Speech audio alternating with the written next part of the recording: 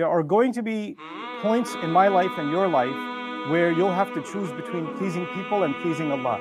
And it might mean that pleasing Allah is going to make a lot of people happy, unhappy, right? And and pleasing people, you can do that temporarily, but it would mean you have to make Allah unhappy. You have to you have to displease Allah. You have to disobey Allah. That's the choice you're going to have to make. And every human being has been given a different story in their life, set of choices in their life, a different circumstance in their life, and every one of us has to come to that point at one point or another. Your story is not the same as mine, my story is not the same as yours.